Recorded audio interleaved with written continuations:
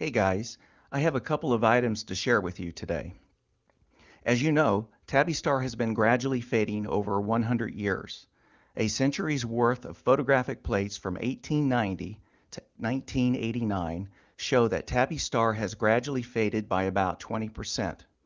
Another study, using light measurements from Kepler telescope over a four-year period, determined that Tabby Star dimmed at about 0.34% per year before dimming more rapidly by about 2.5% in only 200 days. It then returned to its previously slow fading rate. None of the other stars in this vicinity showed any dimming. Well, just recently, a study using data from both the Kepler and the recent dimming event has been conducted and confirms the long-term dimming trend. It also concludes, and this is really important, that accumulating dust is very unlikely to be the cause of the fading. On another topic, this is a chart of the recent dimming event.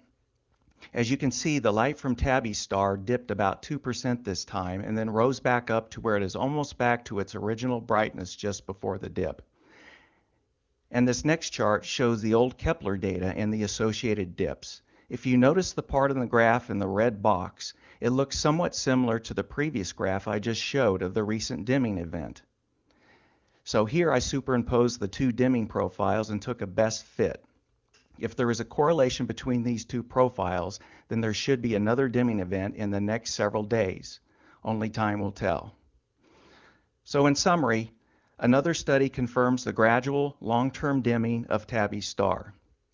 Dust is most likely not the cause of this gradual dimming and if a correlation exists between the recent dimming event and a similar curve from the old Kepler data, then a deep dimming event may be about to happen.